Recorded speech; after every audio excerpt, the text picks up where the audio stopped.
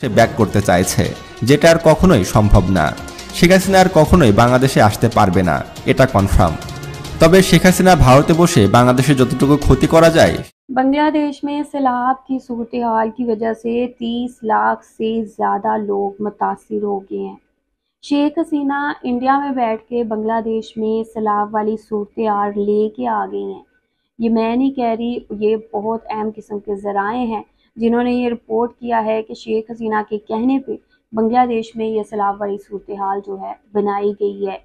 बांग्लादेशियों को इस चीज़ की सदा दी जा रही है कि उन्होंने बांग्लादेश से शेख हसीना को क्यों निकाला? त्रिपुरा के बाद अब इंडिया अपने दूसरे डैम्स के भी गेट्स बांग्लादेश की तरफ़ खोल रहा है। कि बहुत बड़ी तादाद में जो डिस्ट्रिक्ट्स हैं बांग्लादेश की, वो पानी में बह चुकी हैं। बड़ी तादाद में जानवर, मवेशी, बकरियाँ, जो जितना भी लाइव स्टॉक होता है, वो सारा बह चुका है सैलाबी रेले में। अभी आप लोगों के साथ मैं ये रिपोर्ट शेयर करती हूँ, किस तरह शेख हसीना इंडिया में बैठ के सैलाब की साजिश कर रही हैं। ये रिपोर्ट अभी आप लोगों ने आखिर तक देखनी है। वीडियो देखने से पहले चैनल पर न्यू है तो चैनल को लाजमी सब्सक्राइब और वीडियो को लाजमी लाइक करें। तो चलते हैं। देखते हैं वीडियो लेट्स गो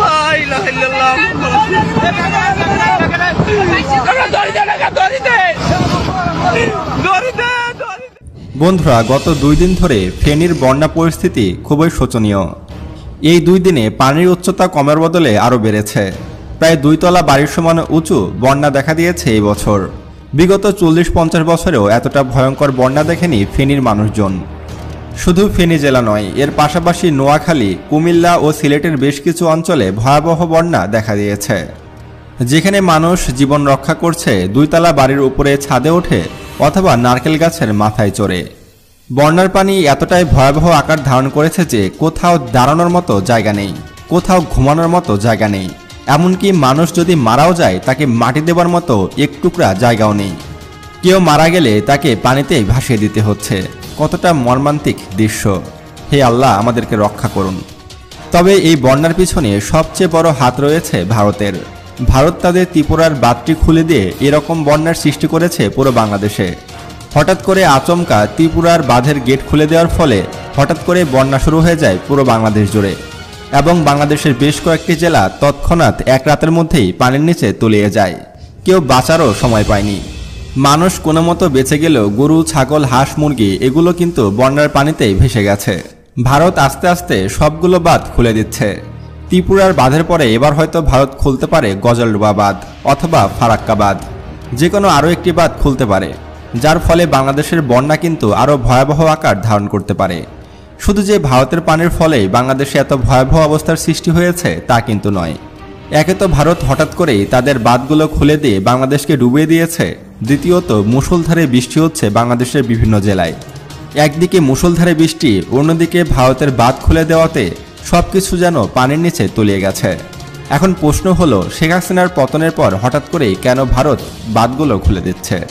অনেক গণমাধ্যম তো দাবি করছে, শেখ হাসিনার আদেশেই নাকি এই বাঁধগুলো খুলে দিয়েছে ভারত।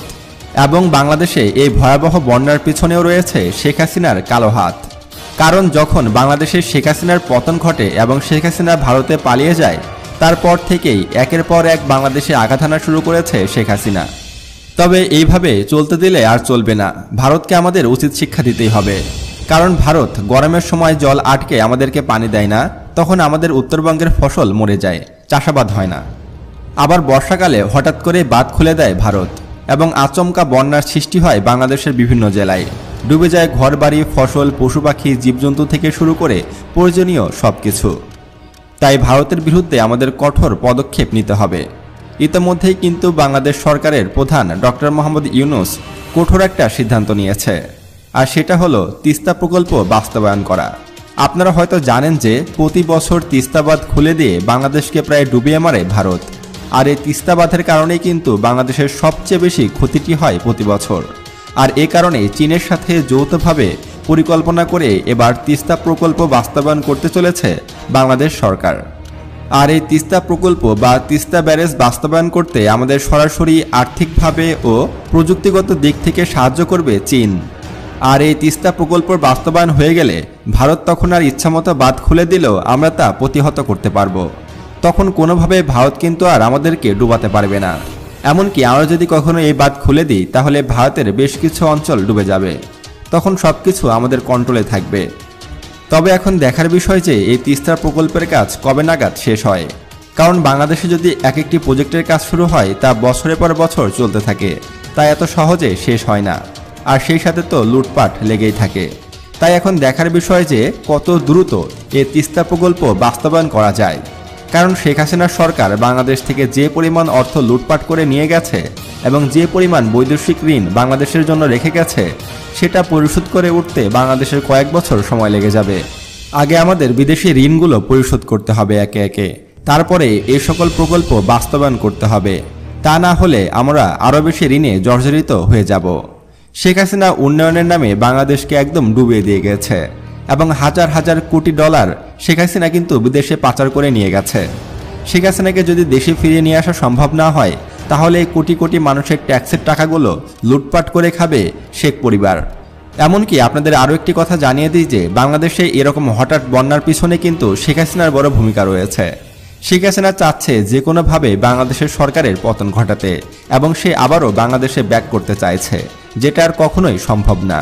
শেখ হাসিনা আর কখনোই বাংলাদেশে আসতে পারবে না, এটা কনফার্ম তবে শেখ হাসিনা ভারতে বসে বাংলাদেশে যতটুকু ক্ষতি করা যায়, সে কিন্তু ক্ষতি করার চেষ্টা করবে। আর সেটাকেই প্রতিহত করতে হবে আমাদের। নয়তোবা আমরা আরও পিছিয়ে যাব।